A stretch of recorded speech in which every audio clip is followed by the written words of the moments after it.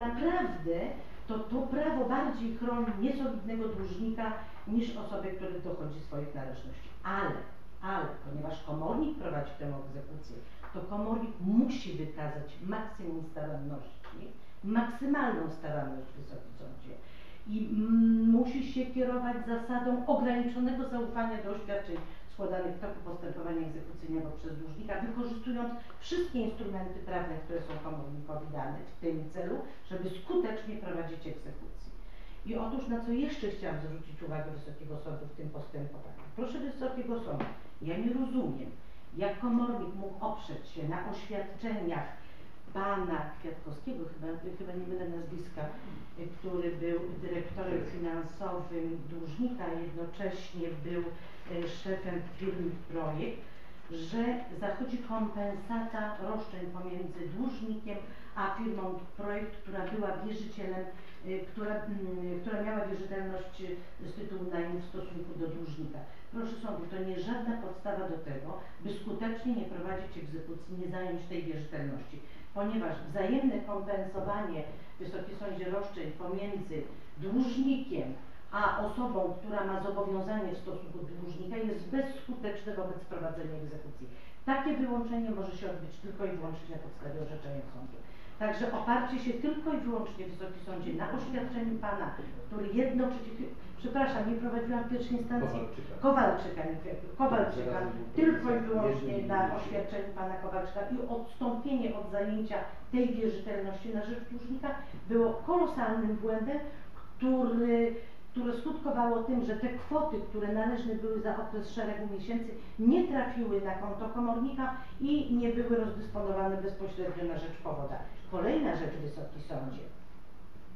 Kolejną rzeczą to rzeczywiście zaniechanie egzekucji w stosunku do kolejnej wierzytelności, to znacznej wierzytelności, która tak naprawdę nie znalazła e, pełnego w Wysokim Sądzie mm, rozczytania, rozpisania, w postępowaniu przed sądem pierwszej instancji, w jakiej wysokości byłaby też wierzytelność w stosunku do hotelu Warsteinhof Köln, y, ponieważ no, była to korespondencja w języku niemieckim, nie trzeba było dokonywać tłumaczeń, a poza tym pomiędzy firmą Warstein Köln a dłużnikiem istniało wzajemne porozumienie, że wierzytelności powinny być przelewane bezpośrednio na rzecz banku. I to również taka umowa w Wysokim Sądzie w żadnym razie nie wiąże komornika w postępowaniu egzekucyjnym, ponieważ wiadomą jest rzeczą, że tak jak kompensowanie należności w stosunku do projektu, tak i w stosunku do, do firmy Hotel Warstein Hofköln, yy, ta, nie, yy, ta, ta, to wzajemne porozumienie w Wysokim Sądzie w żaden sposób nie powinno uniemożliwiać komornikowi prowadzenie egzekucji wobec tej wierzytelności, ponieważ jest to czynność prawna nie mająca żadnego skutku prawnego w stosunku do komornika i dłużnika prowadzącego egzekucję. Nie będę już powtarzała, bo to znalazło się w apelacji, w uzasadnieniu sądu, e, że Pan nie był powiadamiany o tym, o, o zajęciu ruchomości, że komornik miał trudności z, ze zorientowaniem się, które ruchomości stanowią własność firmy będącej dłużnikiem, które można zająć, które nie, które są, co do których było przewłaszczenie. A zatem, ponieważ to zostało w Wysokim Sądzie w sposób niebudzący wątpliwości już uzasadnione przez sąd okręgowy, który orzekał w tej sprawie, całe postępowanie komornicze jest dotknięte szeregiem nieprawidłowości, które uniemożliwiły mojemu klientowi powodowi skuteczne dowodzenie swojego roszczenia w okresie pomiędzy lutym a kwietniem, lutym 2002 a kwietniem 2003 roku. Gdyby egzekucja była prowadzona skutecznie, te kwoty, których Pan dochodził wraz z odsetkami i kosztami egzekucyjnymi nie były na tyle wysokie, by nie mogły być zaspokojone w Wysokim Sądzie, chociażby z tych wierzytelności, które bez żadnej podstawy, od których zajęcia, bez żadnej podstawy prawnej, y, bez żadnej ratio legis y, Wysoki Sądzie Pani Komornik wycofała się y, z, z zajęcia tychże wierzytelności, taka, żeby wyegzekwować należne świadczenia na rzecz mojego mocodawcy. Ponadto wysoki, dlatego też w tym okresie, który jest objęty rozstrzygnięciem wysokiego, rozstrzyganiem przez Wysoki Sąd, Opinia biegłego Kochela w sposób niebudzący wątpliwości stwierdza, że na dzień wszczęcia egzekucji w Wysokim Sądzie majątek firmy był wystarczający, znacznie przekraczał kwotę dochodzonego przez powód roszczenia, wszystkich odsetek i kosztów egzekucyjnych. A zatem Wysoki Sądzie, stając na gruncie obowiązujących, obowiązujących przepisów prawa i roli komornika w egzekwowaniu należności na rzecz y, wierzyciela, w sytuacji, kiedy komornik rozpoczyna egzekucję, a dłużnik jest wypłacalny, egzekucja powinna być prowadzona tak, aby była skuteczna. Sąd rejonowy, sąd okręgowy, oddalając powództwo, stanął na stanowisku, że to my musimy wykazać, że ta szkoda nastąpiła. A ja uważam, Wysoki Sądzie, że ponieważ w tej sprawie, tu sąd podkreślał, odpowiedzialność komornika odpowiedzialność komornika zasadza się na, na odpowiedzialności na zasadzie ryzyka, to komornik musi udowodnić, że nie byłby w stanie ściągnąć tych należności nawet przy, przy prawidłowo prowadzonej egzekucji, ponieważ przy odpowiedzialności na zasadzie ryzyka ciężar dowodu w tym zakresie spoczywa na komorniku, ponieważ w Wysokim Sądzie, no, tak, raz jeszcze to podkreślam, w jaki sposób Pan powód miał udowodnić, że gdyby egzekucja była prowadzona prawidłowo, to te wszystkie kwoty, bądź część kwot, bądź jakąś tam część kwot by uzyskał. Nie uzyskał tych kwot, majątek był wystarczający w momencie wszczęcia egzekucji na, na zaspokojenie roszczeń powoda. Nastąpiło szereg uchybień proceduralnych ze strony komornika, wskazywanych wyraźnie przez sąd okręgowy i są to pozostałe uchybienia, które ja wskazałam w dniu dzisiejszym w Sądzie, które doprowadziły do tego, że doszło do upadłości firmy, a w tym czasie praktycznie ani jedna złotówka nie została przekazana y, mojemu, y, mojemu mocodawcy. I dlatego też Wysoki Sądzie uważam, że istnieją podstawy do mm, zasądzenia powództwa w tym zakresie, jak również chciałabym się zająć tą drugą częścią pana która została złożona na kolejnym etapie postępowania, już przez kolejnego pana pełnomocnika. Y, nie byłam autorem w Wysokim Sądzie, natomiast y, z racji mojej sytuacji procesowej, w jakiej w tej chwili się znalazłam, reprezentuję pana, uważam, że i ta, ta mm, y, odszkodowanie w zakresie utraconych korzyści, które Pan mógłby odzyskać, uzyskać, gdyby ta egzekucja była prowadzona skutecznie, zostało w sposób niebudzący wątpliwości udowodnione. Sąd część dokumentów nie przyjął jako dowód w sprawie. Uważam, że jest to ze szkodą dla powoda, ponieważ właśnie te dokumenty świadczą o tym, że szkoda powstała. Y, pan prowadził działalność gospodarczą od wielu lat. Y, jego dochód w tej firmie był do, do 2000 roku w granicach 5 tysięcy miesięcznie, więc niewielki. Szkoda, którą Pan doznał wskutek zatoru płatniczego od y, pozwanej firmy rzędu ponad 50 tysięcy złotych, to była ta kwota bez odsetek. W Wysokim Sądzie, to była, to była kwota zysku Pana, dochodów Pana za okres 10 miesięcy. I to faktycznie doprowadziło do konieczności zawieszenia działalności gospodarczej.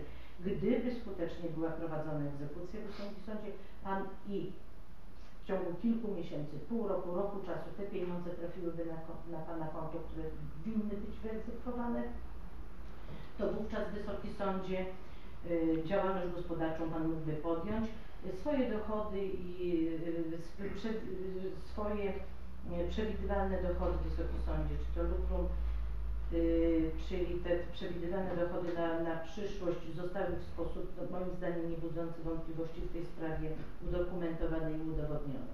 Wysoki Sądzie, wydaje mi się, że aby rozstrzygnąć prawidłowo tą, tę sprawę, trzeba zwrócić uwagę również na jeden fakt, a mianowicie przed 5 lutego 2002 roku skutecznie zostały zakoń, zostało zakończonych pięć egzekucji wobec dłużnika. Skutecznie. Pan w, jeszcze w styczniu, w grudniu 2005 roku złożył wniosek egzekucyjny, przy czym z, nie, z nieprawidłowości prowadzenia postępowania egzekucyjnego po stronie prowadzącego go pani komornik zaszły tego rodzaju uchybienia, które skutkowały niemożnością prowadzenia egzekucji skutecznego, y, pobierania należnych, y, dokonywania stosownych obciążeń na rzecz majątku y, dłużnika.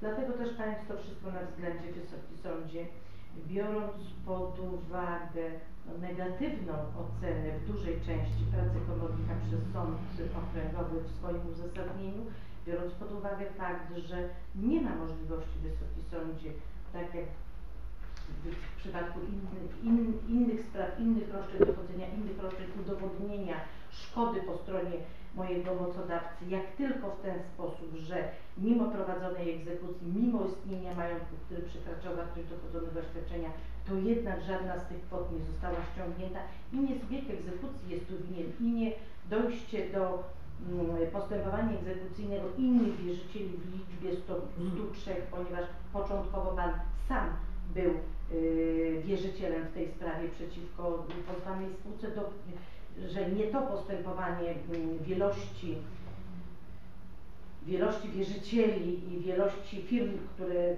chciały zostać zaspokojone, tylko nieudolność, nieprawidłowo prowadzone postępowanie y, przez komornika doprowadziło do, niemożli do, do niemożliwości wyegzekwowania stosownych świadczeń określonych w tytule wykonawczym.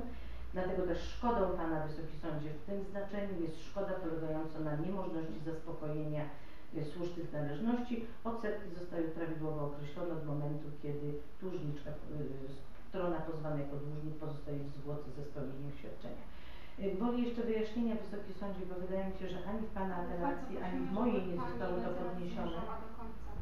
Słuchaj, tak, już. Tylko, tylko kwestia odpowiedzialności, ponieważ jest ubezpieczyciel, a na to również wskazał sąd, że to nie było wskazane, y, to ja tylko precyzuję Wysoki Sądzie, że w stosunku do ubezpieczyciela warty y, my dochodzimy, w stosunku do pozwanych dochodzimy odpowiedzialności na zasadzie nic Dziękujemy. Jakie jest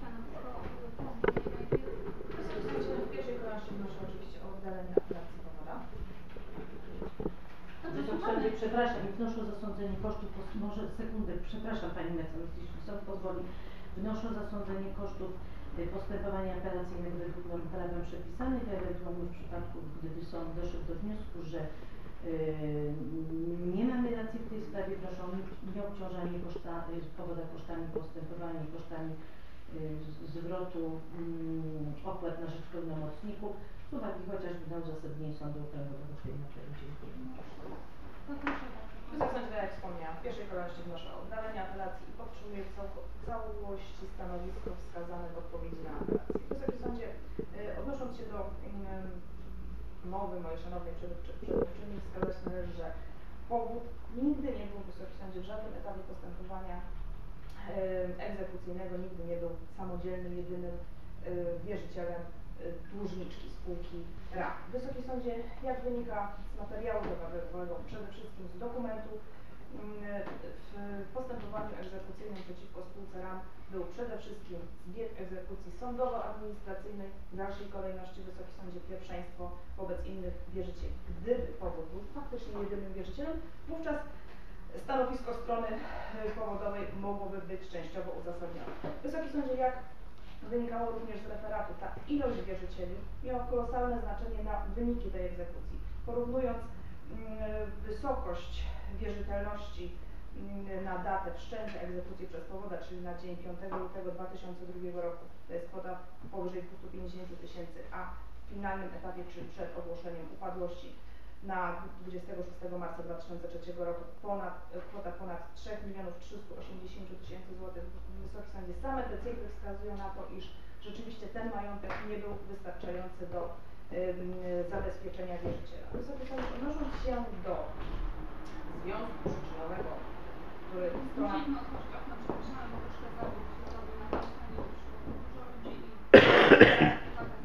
który, do, odnosząc się do tego związku skutkowo-przyczynowego, który strona powodowa y, usiłuje tutaj wykazać, Wysoki Sądzie tutaj same daty mówią y, za siebie. Powód, powód zawiesił działalność w grudniu 1999 roku, natomiast tytuł wykonawczy przeciwko spółce RAM uzyskał dopiero w lipcu 2001 roku.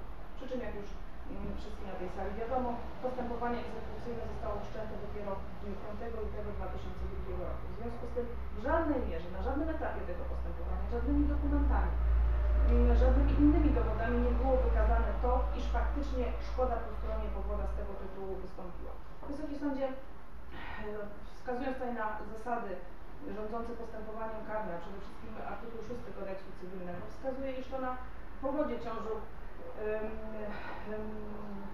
obowiązek wykazania tego, czego faktycznie dochodzi, a zwłaszcza tych utraconych y, korzyści, utraconych zarobków. Wysoki Sądzie, odnosząc się jeszcze krótko do tego majątku, który został y, do majątku dłużnika, który był przedmiotem nie tylko opinii sporządzonej przez biegłego na, w niniejszym postępowaniu, ale również był przedmiotem opinii sporządzonej na użytek postępowania upadłości- upadłościowego. Tych opinii wynika, że ten majątek rzeczywiście był na tyle znikomy, a częściowo w większości Wysoki Sądzie był on, stanowiły to wierzytelności i nieruchomości, nieruchomości, które były objęte hipoteką. Faktycznego majątku do rzeczywistego zajęcia faktycznie Wysoki Sądzie taki majątek nie istniał. Powód również nie wykazał, co na taki majątek miałoby się składać. Wysoki Sądzie, jak wynika z, szczegółowej analizy akt postępowania komorniczego i dat, które dat, z, których, których komornik podjęła czynności, można wnioskować Wysoki Sądzie jeden wniosek, że to postępowanie egzekucyjne było prowadzone w sposób bardzo sprawny. Skoro w dniu 14 lutego 2001 roku została uiszczona opłata, a już w dniu 19 lutego zostały zajęte rachunki bankowe, w dniu 20 zostało mm, wydane postanowienie o zajęciu wierzytelności. Mm, Komornik była na miejscu prowadzonej działalności przez dłużnika. W dniach y, późniejszych odbierała oświadczenia Wysoki Sądzie. Tu w żaden sposób, w żaden sposób nie można mówić o nieprawidłowości tego postępowania. Oczywiście powód może mieć rację, może czuć żal, że rzeczywiście jego mm, wierzytelność nie została Wysoki Sądzie skutecznie wyegzekwowana. Natomiast komornik w żaden sposób nie może ponosić odpowiedzialności za stan majątkowy dłużnika, a w tym wypadku ten stan majątkowy był taki, że celowość tej egzekucji Wysoki Sądzie była y, niczym nieuzasadniona, a zaj- zajmowanie poszczególnych ruchomości, na które e, powód rzekomo się powoływał i na, które, na których istnienie rzekomo wskazywał z informacji, które komornik uzyskała na miejscu prowadzonej działalności. Większość z tych ruchomości była zniszczona i prowadzenie z nich egzekucji w żadnym ciągu, w żadnym stopniu byłoby ym, niecelowe. Wysoki Sądzie, nie powtarzając tych argumentów, które zostały podniesione w odpowiedzi na apelację, ja stoję na stanowisku jak dotychczas, wskazuję tylko jeszcze na jedną rzecz Wysoki Sądzie y, odnośnie y, samochodu marki Peugeot 406. Y, Wysoki Sądzie, tutaj nie zgadzam się z uzasadnieniem sądu pierwszej instancji, ponieważ w pierwszej kolejności samochód ten był przedmiotem przewłaszczenia, natomiast z akt postępowania wynika, że nie mogło dojść do jego skutecznego zajęcia, ponieważ została komornikowi przedstawiona faktura na jego sprzedaż. W związku z tym po takiej sprzedaży komornikowi nie przysługiwało żadne, s- żadne skuteczne działania, które mogłyby taką y, czynność w Wysokim Sądzie y, uchylić. Y, Odnosząc się Wysoki Sądzie do zażalenia, które zostało złożone w przedmiocie nieobciążania powoda kosztami, ja nie, pod, nie, nie jest w całości podnoszone. Dziękuję. Słuchamy pana mecenas. W imieniu pozwanej Towarzystwa Ubezpieczenia Reasekuracji Warta w naszej domonie apelacji. W ocenie pozwanej sąd y, okręgowy trafnie przyjął, iż powód nie wykazał związku przyczynowego między kwestionowanymi przez y, niego działaniami lub zaniechaniami ubezpieczonego a szkody. Jeżeli powód twierdzi, że y, wskazywane przez niego uchybienia ubezpieczonego komornika.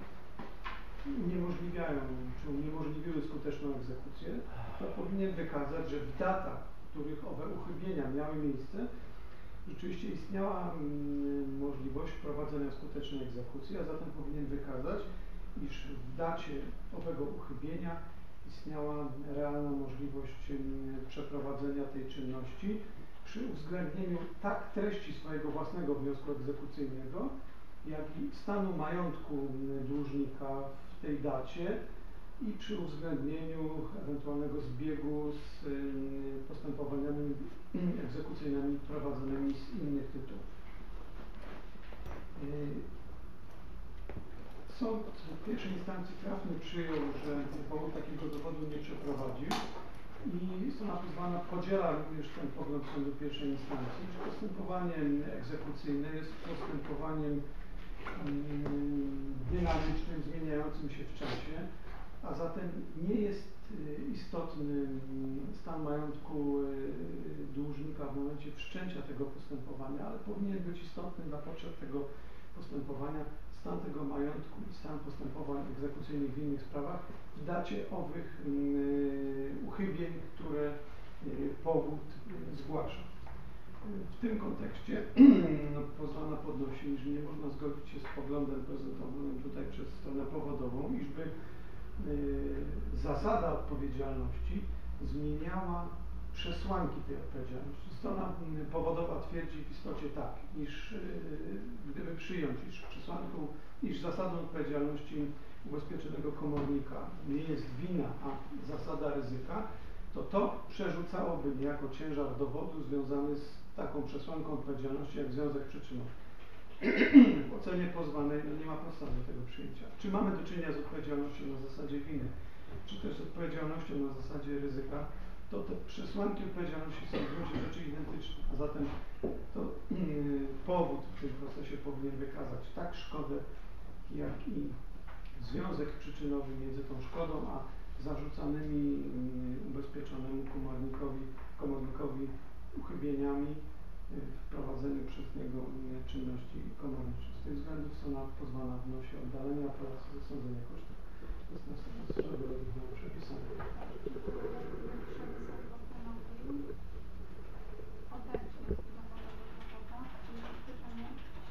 Wysoki sądzie, chciałbym zabrać głos. Ale zdania dosłownie. Pana pełnomocnik wypowiedział się w sposób Tak. e, bardzo szczegółowy. Wysoki sądzie, Także dwa zdania, słuchamy to, że sąd y, wysoki nie ma czasu na rozpatrywanie tej sprawy, nie jest argumentem pozytywnym. To jest argument negatywny. Sąd, y, jako jestem obywatelem tego kraju i sąd, mam prawo do sądu.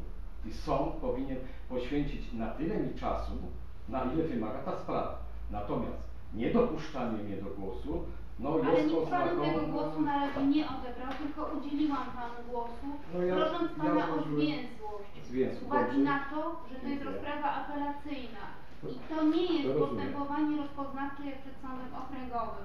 Pana pełnomocnik, tak jak powiedziałam, wypowiedział się w tej sprawie. Po to strony mają też pełnomocników, że wypowiadają się w szczególności na rozprawie apelacyjnej poprzez swoich pełnomocników.